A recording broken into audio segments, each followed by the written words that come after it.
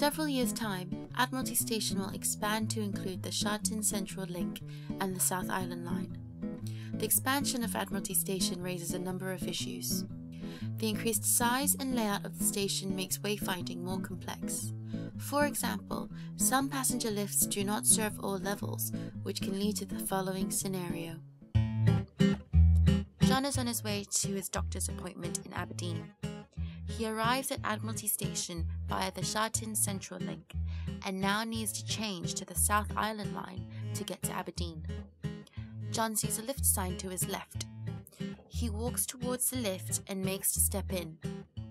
Just then, he realizes the lift only goes to the Tsuen Wan line and Island line. Frustrated and angry, John looks around to find any signs that will direct him to the South Island line. There are none, and John is lost.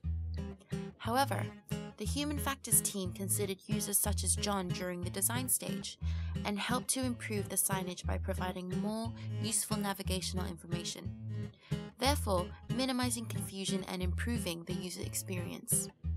By simply adding extra directions, passengers can clearly distinguish which lifts go where and enjoy a stress free MTR journey.